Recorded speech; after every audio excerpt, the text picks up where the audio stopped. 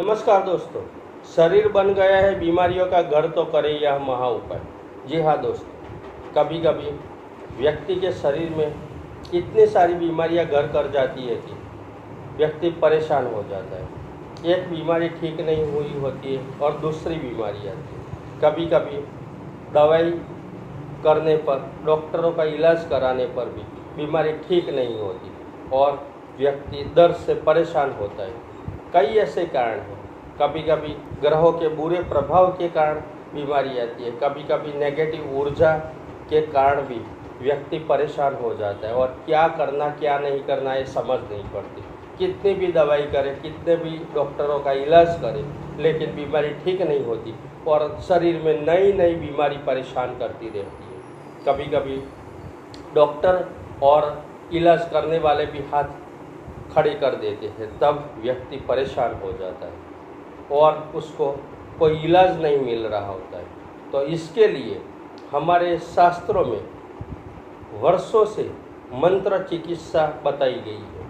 हमारे शास्त्रों में कई ऐसे मंत्रे, मंत्र बताए हैं, जिससे हमारे ऋषि मुनि बीमारियों का इलाज करते थे आज मैं आपको शरीर से बीमारी ठीक नहीं हो रही तो इसके लिए एक महा उपाय बता रहा हूँ। इसके लिए ऋग्वेद में भगवान शिव का त्रंबक मृत्युंजय मंत्र बताया गया है, जो भय, शोक, पीड़ा और मृत्यु को हरने वाला मंत्र बताया है। इसका महा उपाय बता रहा हूँ। जिस मंत्र को त्रंबकम मंत्र कहा जाता है, मृत्युंजय मंत्र कहा जाता है, या मृत्युंजय संजीवनी मंत्र भी कहा जाता है। दोस्तों, जब आपको बीमारी छोड़ नहीं रही है, आप परेशान हो रहे हो, कोई इलाज काम नहीं कर रहा है, तब ईश्वर की शरण में जाना ही एक उपाय है।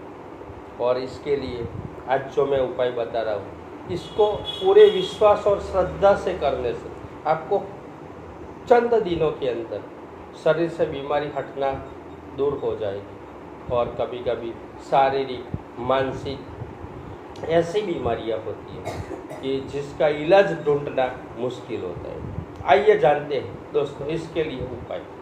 इसके लिए आपको मृत्युंजय मंत्र, ओम त्र्यंबकम यजामहे सुगंधिम पुष्टि वर्धनम रूप में वंदनात् मृत्युर्मोक्षी मामृता इस मंत्र का उपयोग करना है।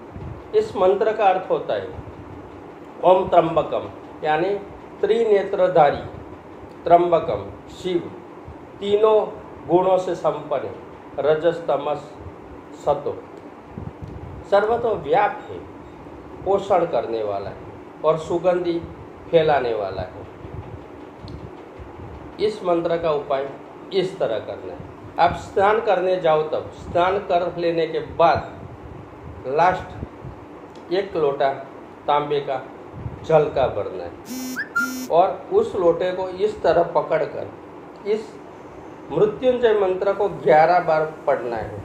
इस तरह लोटे को पकड़ना है कि आपकी आवाज़ की ध्वनि पानी में पड़े। इस तरह लोटा पकड़कर बोलना है, ओम त्र्यंबकम यजामहे सुगंधि पुष्टिवर्धनम पूर्वारुक में वंदनाथ मृत्युर्मोक्षी मामृता इस मंत्र को 11 बार बोलने के बाद लास्ट, उस लोटे का जल आपके शरीर पर डाल देना है। इससे आपके शरीर से पूरी नेगेटिव ऊर्जा दूर होगी।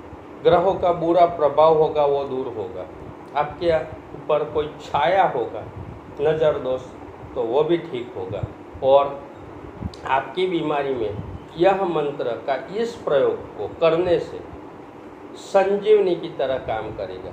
इसलिए इस मंत्र को संजीवनी मंत्र भी कहा जाता है। रोज स्नान करने के बाद छेल्ले, एक लोटा जल का भर कर तांबे का लोटा लो तो अच्छा है या स्टील का लेने का है, इसमें प्लास्टिक का टब नहीं यूज़ करना है। लोटा लेकर पानी से भर कर उसमें ऐसे पकड़ना है कि आपके आवाज़ की ध्वनि पानी में पड़े। ओम त्र्यंबकम यजामहे सुगंधि पुष्टिवर्धनम उर्वारुक में वंदनाथ मृत्युर्मोक्षी मामृता इस मंत्र को 11 बार बोलने के बाद वो जल को आपके शरीर पर महादेव का नाम लेकर चढ़ा देना तो यह प्रयोग आपके शरीर से नेगेटिव ऊर्जा को दूर करके आपकी सारी बीमारियाँ, सारे कष्ट, सारे दुख, दर्द धीरे धीरे दवाई की तरह काम करके ठीक करेगा। दोस्तों, अगर मेरा वीडियो पसंद आया है तो वीडियो को लाइक करें, शेयर करें और ऐसे ही नए नए योग एक्यूप्रेशर और आयुर्वेद के वीडियो को देखने के लिए मेरे यूट्यूब चैनल ब्रह्म ज्ञान को सब्सक्राइब करें। नमस्कार, स्वस्थ रहो, मस्त रहो, निरोगी रहो।